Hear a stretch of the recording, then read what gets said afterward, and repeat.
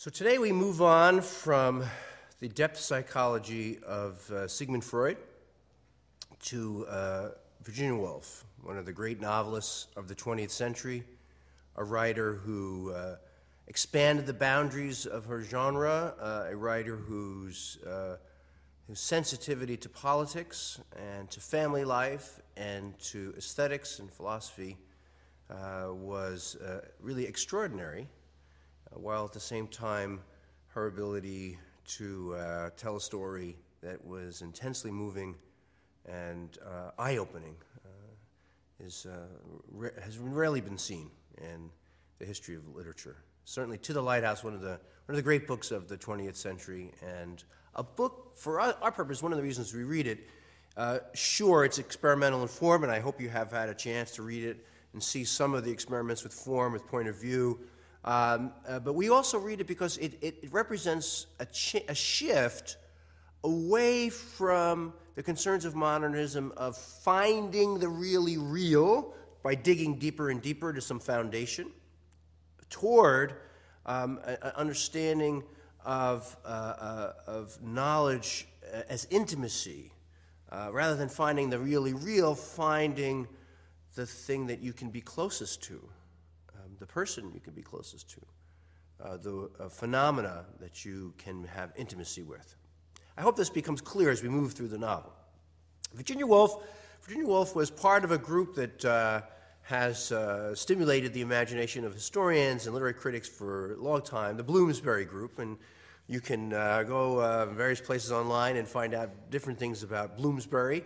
It was an extraordinary group of, of of uh, intellectuals and artists and writers who, uh, in the beginning decades of the 20th century, uh, came together out of friendship and shared uh, political convictions. That is, they wanted a society with uh, greater uh, equality and less violence. but most importantly, they, um, they shared a commitment to uh, the arts and to aesthetic principles uh, and, and friendship. Some of the people involved in that were, um, uh, of course, Virginia Woolf and her husband Leonard, uh, Clive and Vanessa Bell. Uh, John Maynard Keynes, probably the person's name most familiar to most of you from his work in economics.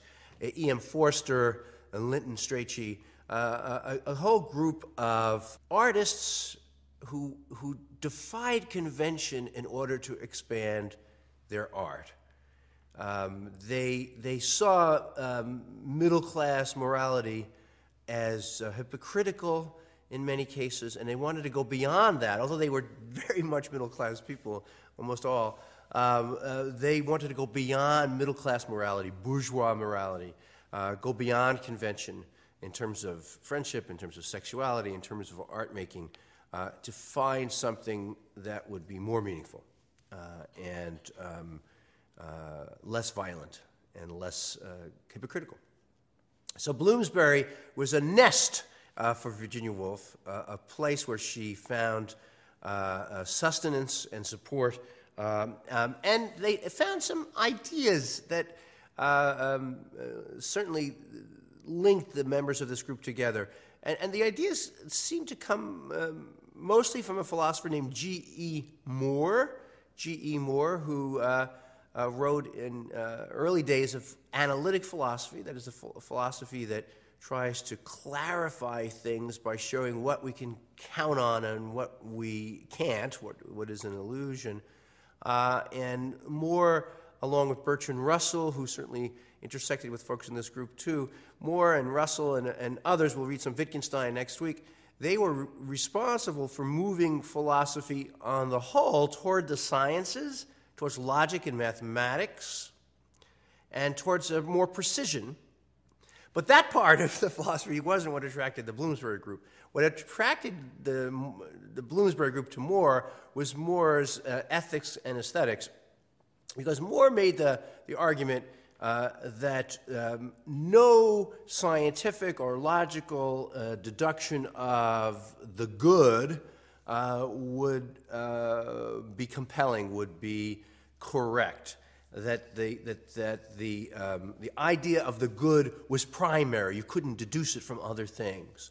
Um, and so um, uh, the uh, ethics for uh, Moore was not empirical, not, not scientific, um, and um, intrinsic goods, the goods, things that are good in themselves, uh, they don't have to be interrelated. They're not systematic. That's what Moore and, and to that, the other analytic philosophers did. They showed you what things fell apart as systems and what things held together as systems. And Moore said ethics and aesthetics, they don't actually hold together as systems, or at least the intrinsic goods don't hold together as a system. But that doesn't, and here's where Moore was attractive to Bloomsbury, that doesn't make intrinsic goods any less valuable, or any less good. Um, in fact, the uh, intrinsic goods like friendship, like beauty, um, uh, uh, like uh, um, art, that these um, love, that these intrinsic goods stood on their own, and a commitment to them structured your other beliefs rather than your other beliefs leading you to have a commitment to friendship or love or beauty. So Moore was an analytic philosopher, but one of the things he tried to show was that um, uh, no matter how much uh, precision you use, no matter how much uh, uh scientific, scientifically uh, organized argument you used, um, you could not actually define uh, the good. And every time we defined the good, we actually were just substituting one thing we liked for the concept of the good.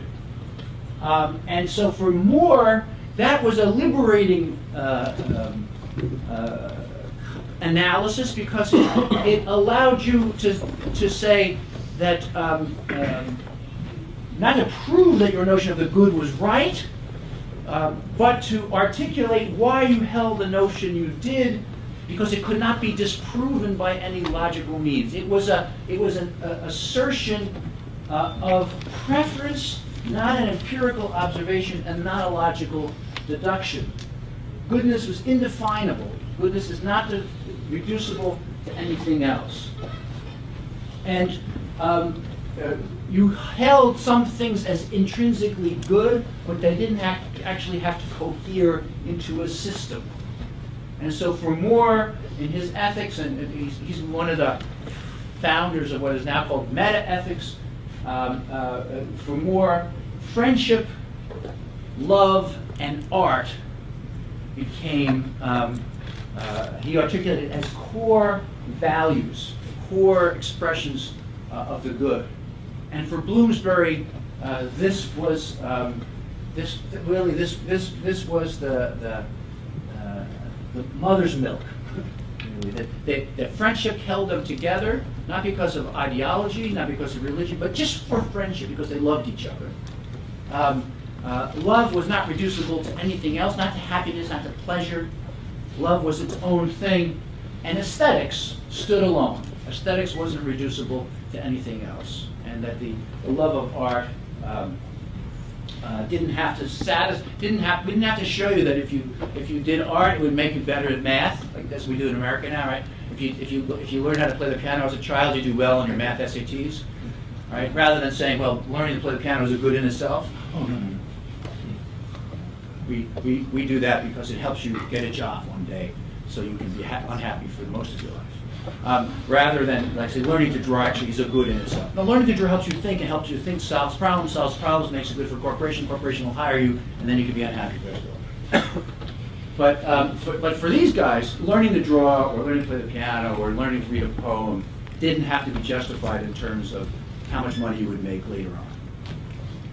Because actually, no one actually says that making money is the highest good, even in America. They just act as if it. And Moore and the Bloomsbury group said, no, no, art is its own thing. It doesn't have to be justified in other terms. So too friendship, so too life. The beginning of To the Lighthouse, as you remember, I'm, I'm going to uh, read mostly from this, this edition, uh, uh, uh the uh, Harcourt uh, book edition the, the, the, the, very beginning of the, of, the, uh, of the novels is this. Yes, of course, if it's fine tomorrow, said Mrs. Ramsay. But you'll have to be up with the lark, she added.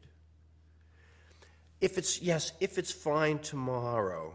her, the mo- mother, Mrs. Ramsay, reassuring her son, reassuring her son James that yes, we will go to the lighthouse tomorrow, if it's fine.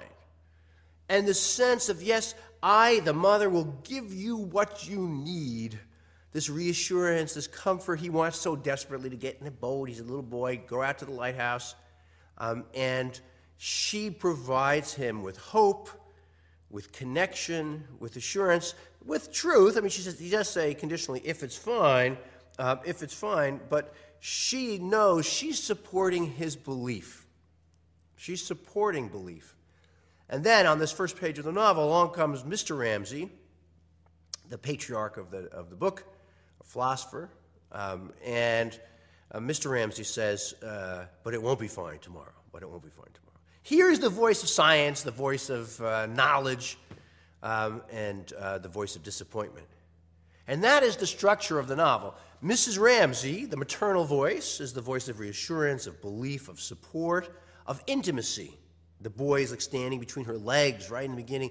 She's, they're, they're close physically.